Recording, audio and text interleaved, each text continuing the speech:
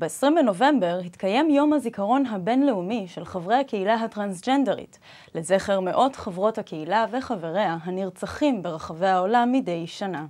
בישראל, לאור גילויי אלימות מצד המשטרה כלפי הקהילה, הוחלט לפתוח את עצרת הזיכרון במשמרת מחאה מול תחנת המשטרה בתל אביב.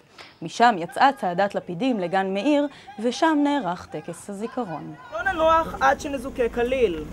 עד שהמשטרה תודה במעשיהם האסורים והבלתי חוקיים של שוטריה ותפצה אותנו על עוגמת הנפש לה זכינו על לא עוול בכפינו. שבעה מיליארד